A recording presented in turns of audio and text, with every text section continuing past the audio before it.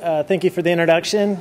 Uh, again, I'm Dan Shoemaker, CSO of Fate Therapeutics. Um, we are a publicly traded company, so here's the required forward looking statement. Um, so, we are a 70 person company located just down the street. Our mission is to develop first in class cell based immunotherapies for cancer and immune disorders.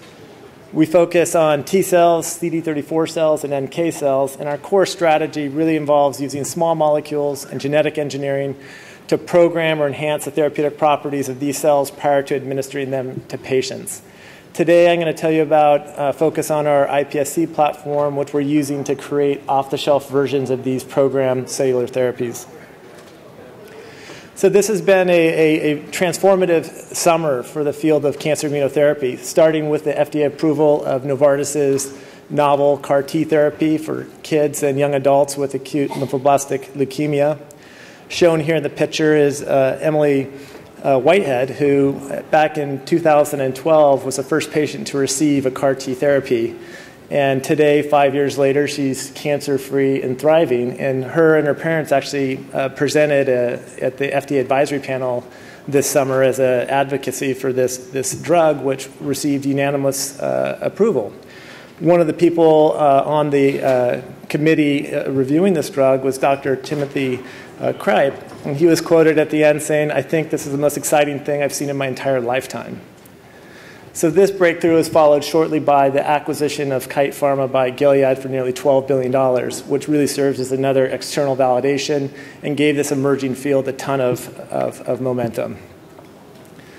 So again, this autologous CAR T manufacturing strategy is really a, an excellent example of how we can program the immune system to fight cancer. The way this manufacturing works is you isolate T cells from a patient, you send them to a central manufacturing facility where the cells are activated, transduced with a viral construct containing the, the, the, the, the CAR uh, targeting moiety. The, the, the, genetically engineered cells are then expanded, cryopreserved, and then shipped back to the hospital where the patient is. Uh, they then, you know, cells are infused into the patient where they've now been reprogrammed to target the cancer cells, and you know, the clinical results have been nothing short of, of uh, phenomenal. Um, however, there are some manufacturing challenges. It takes two to three weeks to go vein to vein to generate these CAR T cells, and the price for a single dose is $475,000. Um, so at Fate Therapeutics, what we're doing is using our iPSC platform to create an off-the-shelf uh, version of this therapy. Um, again, just to highlight some of the, the, limitations which we're trying to address is, is today uh, the cell source is, is, is patient specific, the genetic engineering is random and variable. Again, um, you end up with heterogeneous products. It's challenging enough to insert a single targeting element, such as a CAR. Going after solid tumors is probably going to require multiple targeting elements. Uh, and as I just highlighted, the delivery can take up to three weeks, and uh, it's expensive, and you get a single dose. So we believe using a master cell line, it enables um, precise and complete engineering. It will generate off-the-shelf versions of this therapy. The products can be homogeneous, you know, available on demand, and it will also enable uh, stepwise uh, multiple engineering, so we could put a lot of functionality into these cells. And it's also going to allow us to create multiple doses in a, a very cost-effective fashion. So the way we do this is we use human iPSC cells, and this is where we perform the genetic engineering. Um, after doing the engineering, we select a single cell, a clone, which is then expanded to create a master cell bank. And it's from this master cell bank that you could derive uh, expansion and, and create large quantities of INK cells and IT cells that then can serve as an off-the-shelf homogeneous solution for, for patients. And again, this approach really addresses some of the limitations I highlighted using the autologous patient-specific manufacturing. The backbone of this is a clinic-grade iPSC cell. So for nearly the past decade, we've been working closely with our academic founders, Rudy Jaenisch and Sheng Ding, to create this small molecule-based uh, iPSC platform. And shown on the bottom is an example of a cocktail of four different small molecules that enables uh, highly efficient footprint-free reprogramming. Um, after you've generated your iPSC clone, we have a different set of small molecules that we use to clonally expand and create master cell banks of the iPSCs. And after this, we have different small molecules and cytokines that we use to drive the differentiation uh, into uh, therapeutic cells. Again, we've been doing this for a long time and have uh, you know, amassed uh, a significant patent portfolio protecting this technology. Um, one of the most powerful things of this approach is it's very amenable to genetic engineering. So we actually do the reprogramming and genetic engineering at, a, at the same time. And after that, individual cells are placed into the wells of a microtiter plate.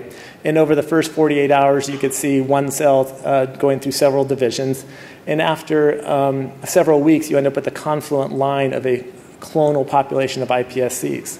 At this stage, you can then survey the cells and, and confirm pluripotency markers. You can look at the integrity of the genome with karyotype analysis. And after you've done your genetic engineering, you could also go in and confirm that the targeted engineering has occurred. So one example of this is inserting a CAR construct that is also marked with a GFP molecule.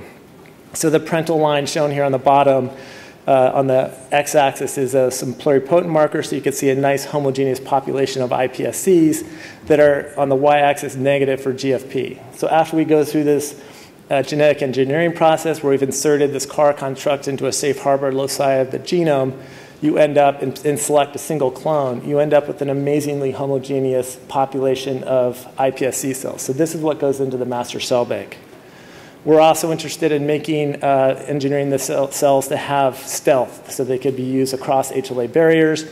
You know, in this case, this is an example where we've engineered out the B2M gene to reduce class 1 gene expression. So again, shown on the bottom here is our parental line where it's uh, positive for B2M and class 1 expression after going through the genetic engineering, picking a single clone, you now end up with a homogeneous population of, of iPSCs that are devoid of class 1. So this would be something that might be stealthy and be able to avoid uh, immune rejection.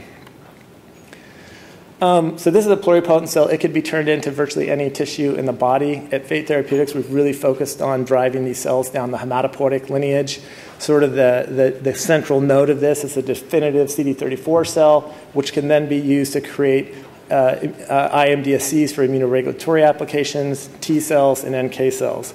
Today, uh, in interest of time, I'm going to give you two products that we're developing using this product uh, platform. One out of the, uh, an iPSC-derived T cell and one out of a, an NK cell. So let's start with the NK cells.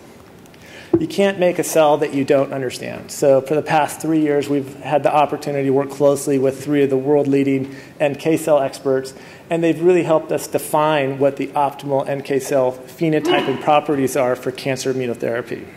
And this has really helped guide the development of our small molecule guided differentiation protocols. So to create iPSC-derived NK cells, again, you start with an iPSC, a very homogeneous master cell bank, and then the first 10 days we drive this to the definitive CD34 node. And this is marked by CD34 each iPSC turns into 134, so you already have a first step of, of, expansion. After a positive selection step, these are then put into a different set of small molecules and cytokines, which drives these cells into the NK cell lineage. So at the end, just go to the bottom, we end up with a nice homogeneous population of CD56 positive, and on the y axis here is NKG2A, which is another marker of the NK cell lineage and this is the final product that will go into patients. It's interesting if you look up at day 26 and at day 16, you could see these things going from an iPSC to a 34 and picking up the expression of these markers. So the small molecules really drive not only the differentiation, but the maturation of the NK cell.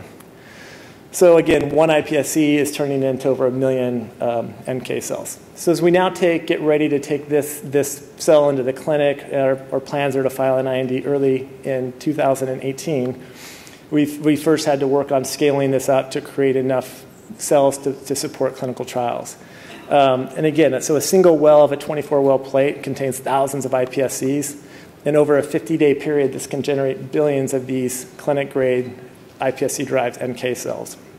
We've explored a lot of optimization during the, the, the scaling and the manufacturing. Uh, shown in the blue are, are, are NK cells expanded in a flask. In the red is, is the performance in a G-Rex device. And, and this is also very, uh, we're now exploring moving this up to the next level in bioreactors. So one of the things, this is almost infinitely scalable. So once you get it figured out, you could make as many of them as you want. So now thinking about filing this IND, we've done extensive characterization on these NK cells with respect to surface markers, gene expression analysis, in vitro cell killing, as well as in vivo models of both potency and toxicity. One very important question has been with the, discussions with the FDA is making sure that there's no residual iPSC cells in the final product that is administered to the patients. So to do this, we've developed highly sensitive tests for detecting these residual iPSC cells. And, and specifically, we did genome-wide profiling, and we wanted to find transcripts that were highly expressed in iPSCs and not expressed at all in NK cells. So one of the genes we found that met these criteria was converted into a very sensitive qPCR assay. And shown in the blue bars is a spike in experiment. And basically, at the, the furthest left, we could detect a single iPSC spiked into over 2 million INKs. So this is an incredibly sensitive assay. And on the furthest left, we've been able to show in six different manufacturing runs that there are absolutely no detectable iPSCs in the final products. And so this has been a very important part of our CMC package that we're taking to the FDA and again to file this IND early next year. Um, one of the first engineered INK products we're going to take into the clinic uh, involves an engineered high affinity non cleavable CD16 FC receptor. This was originally developed by Dan Kaufman uh, when he was at the University of Minnesota. He's now at UCSD. And basically, this receptor is going to allow very powerful ADCC activity. So, again, we've cloned this thing into our iPSC line using the techniques I just showed you, created a master cell bank, and this is what we're using to create large quantities of these uh, um, high affinity expressing uh, INK cells. Again, the clinical trial we're going to run with this will be in combination with approved monoclonal antibodies. And again, these cells are going to go after and take out tumor antibody coated tumor cells. Um, one of the things that the, the mutation does, normal NK cells with CD16, once they engage a target cell, the CD16 molecules are shed, which limits the ability of them to kill lots of tumor cells. By utilizing this uh, engineered version, we basically not only have enhanced and homogeneous expression of this targeting receptor, but it's also much more durably expressed because it's not shed during the target engagement. Um, shown here is a, uh, a, demonstration of the killing potential of these cells. This is a mobilized, a, a peripheral blood-derived NK cell taking out a, a SCOV3 ovarian cancer cell line, which is inherently challenging to kill with NK cells, which is demonstrated why this line is sort of flat. When you add antibodies, the cell line is also positive for both HER2 and EGFR. When you add antibodies into this assay, you could show enhanced killing, and this is a good way to measure ADCC activity. And our engineered iPSC uh, product that has this enhanced CD16 allele, not only does it by itself have uh, much more powerful killing, but when you combine it with the antibodies, it really maxes out the killing in this assay. We've also, getting ready for the you know, filing this IND, we've done extensive in vivo studies. Here's an example of mice uh, treated with luciferase um, uh, tumor cell lines that, that's HER2 positive. With no treatment, the tumor takes over. With Herceptin only, you have a modest control of the tumor. And finally, when you combine the Herceptin with this engineered INK, you get really good tumor control. So again, this IND will be filed in the middle of next year. And so finally, to wrap up, um, I'm going to tell you an example of how we're using the same exact technology to create a, a iPSC-derived CAR T. We've been working with Michelle Sadelain on this project. Again, similar to the NK work, we've developed a small molecule differentiation protocol that allows us to create T cells.